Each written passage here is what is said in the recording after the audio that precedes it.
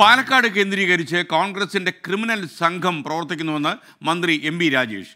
കള്ളപ്പണ ഇടപാടിന് പിന്നിൽ ഈ സംഘമാണ് പ്രവർത്തിക്കുന്നത്. വ്യാജ ഐ ഡി ഉണ്ടാക്കി കള്ളവോട്ടിനും തെരഞ്ഞെടുപ്പ് അട്ടിമറിക്കും നീക്കം നടക്കുന്നു. നടന്നത് കള്ളപ്പണ ഇടപാട് തന്നെയാണ്.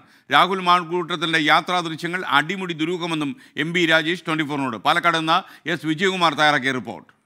പാലക്കാട്ടെ ഉപതെരഞ്ഞെടുപ്പ് പ്രചാരണം അതിന്റെ ഒരു പ്രധാനപ്പെട്ട ഘട്ടത്തിൽ എത്തി നിൽക്കുമ്പോഴാണ് ഇവിടുത്തെ കുഴൽപ്പണ കള്ളപ്പണ വിവാദം തെരഞ്ഞെടുപ്പിൽ വലിയ രാഷ്ട്രീയ ചർച്ചയാകുന്നത്. ഈ ഘട്ടത്തിൽ മന്ത്രി എം രാജേഷ് പ്രതികരിക്കുകയാണ്. തന്നെയുമല്ല ഇതിൽ കൂടുതൽ ദൃശ്യങ്ങൾ പുറത്തു വന്ന ഒരു സാഹചര്യം കൂടിയുണ്ട്. എന്താണ് മിനിസ്റ്റർക്ക് പറയാനുള്ളതെന്ന് കൂടി നമുക്ക് പരിശോധിക്കാം. മിനിസ്റ്റർ ഇതിൽ ഈ കൂടുതൽ ദൃശ്യങ്ങൾ പുറത്തു വരുന്നുണ്ട്. സി പി എം ഉന്നയിച്ച ഗുരുതരമായ ആരോപണം നിലനിൽക്കുന്നുണ്ട്. അതിനെ സാധൂകരിക്കുന്നുണ്ടോ ഈ തെളിവുകൾ? പൂർണമായും സാധൂകരിക്കുന്നതാണ്. ഈ കഴിഞ്ഞ ദിവസം രാത്രിയിൽ ഉണ്ടാക്കിയ ഈ നാടകം മുഴുവൻ ഈ പുകിൽ മുഴുവൻ എന്തിനു വേണ്ടിയായിരുന്നു എന്ന് ഇപ്പോൾ എല്ലാവർക്കും മനസ്സിലായിരിക്കുന്നു. ഒരു സംശയവും ഇപ്പോൾ അതിൽ അവശേഷിക്കുന്നില്ല. ഇവർ ഒട്ടേറെ കാര്യങ്ങൾ ഒളിച്ചു വെക്കാൻ വേണ്ടിയിട്ടുള്ള പരിഭ്രാന്തമായിട്ടുള്ള നാടകമാണ് അന്ന് നടത്തിയത് എന്നാണ് ഇപ്പോൾ വ്യക്തമായിട്ടുള്ളത്. ഒരു ക്രിമിനൽ സംഘം എങ്ങനെയൊക്കെയാണോ കാര്യങ്ങൾ ആസൂത്രണം ചെയ്യുക ആ ആസൂത്രണത്തെയാണ് ഇത് ഓർമ്മിപ്പിക്കുന്നത്. ഒരു സമഗ്ര അന്വേഷണം നട- നടത്തേണ്ടുന്ന സാഹചര്യം എത്തിയിട്ടും അതിലൊരു ഒരു കേസ് രജിസ്റ്റർ ചെയ്തിട്ടില്ല എന്നുള്ളത് തെളിവുകളുടെ അഭാവം കൊണ്ടായിരിക്കുമോ പോലീസ് അതിന് മുതിരാത്തത്? അല്ല എനിക്ക് തോന്നുന്നത് ഇപ്പൊ പണം കണ്ടെത്താനായിട്ടില്ലല്ലോ.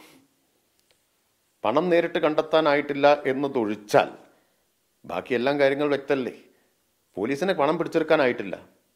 അത് പിടിച്ചെടുക്കാൻ പോലീസിനെ സമ്മതിക്കാതിരിക്കാൻ വേണ്ടിയാണ് അന്നത്തെ നാടകം മുഴുവൻ ഉണ്ടാക്കിയത്. ഇത് വൻതോതിൽ കള്ളപ്പണം. ഈ തെരഞ്ഞെടുപ്പിൽ പാലക്കാട്ട് ഒഴുക്കാൻ പോകുന്നു എന്നതിന്റെ തെളിവാണ്. മാത്രമല്ല ഒരു ക്രിമിനൽ സംഘം പാലക്കാട് കേന്ദ്രീകരിച്ച് പ്രവർത്തിക്കുകയാണ്. വ്യാജ തിരിച്ചറിയൽ കാർഡ് ഉണ്ടാക്കുന്നതിന് നേതൃത്വം കൊടുത്ത കേസിൽ ഒന്നാം പ്രതി അതിലെ തന്നെ മറ്റൊരു പ്രതി ഇവരെല്ലാം പാലക്കാട്ട് കേന്ദ്രീകരിച്ചിരിക്കുകയാണ്. കള്ളപ്പണം അതുമാത്രമല്ല അവിടെയും നിൽക്കുമെന്ന് ഞാൻ വിചാരിക്കുന്നില്ല. കള്ള ഐഡന്റിറ്റി കാർഡുകൾ ഇവർ വ്യാജമായി ഉണ്ടാക്കി കള്ളവോട്ട് വ്യാപകമായി ചെയ്ത് തെരഞ്ഞെടുപ്പ് അട്ടിമറിക്കാൻ നീക്കം നടത്തുന്നു എന്ന് വേണം സംശയിക്കാൻ. പോലീസ് ആ ആ നടത്തിയ നീക്കങ്ങളിൽ എന്തെങ്കിലും പാളിച്ചുണ്ടായോ അങ്ങനെ ഒരു ആയുധം അപ്രതീക്ഷിതമായി കോൺഗ്രസിന്റെ യു ഡി എഫിന്റെ കയ്യിലേക്ക് പോലീസ് കൊടുത്തോ? അങ്ങനെ ഒരു വിലയിരുത്തലുണ്ടോ? പോലീസ് കൈകാര്യം ചെയ്തത് ശരിയായോ എന്ന് ചോദിച്ചാൽ പോലീസിനെ യഥാർത്ഥത്തിൽ അത് കൈകാര്യം ചെയ്യാൻ അവർ സമ്മതിച്ചില്ലല്ലോ. പോലീസ് എണ്ണത്തിൽ കുറവായിരുന്നു. മൂന്ന് പോലീസുകാരും മറ്റോ ഉണ്ടായിരുന്നത്. അവരെ നേരിടാൻ. അഞ്ഞൂറാളെ കൂട്ടി വരേണ്ട കാര്യം എന്തായിരുന്നു? മാത്രമല്ല പോലീസ് വന്നാൽ എന്തിനാണ് ആളെ കൂട്ടി തടയുന്നത്? എന്തിനാണ് ആളെ അപ്പോൾ അപ്പൊ പ്ലാൻഡ് ആയിരുന്നു എന്നുള്ള വ്യക്തമല്ലേ ഒരു കാര്യം കൂടി മനസ്സിലാക്കണം. ഹോട്ടലിൽ പണം ഉണ്ടായിരുന്നത് കൊണ്ടല്ലേ ഇത്രയും കുറഞ്ഞ സമയം കൊണ്ട് ഇത്ര ആളെ അവിടെ കേന്ദ്രീകരിക്കാൻ പറ്റിയത്?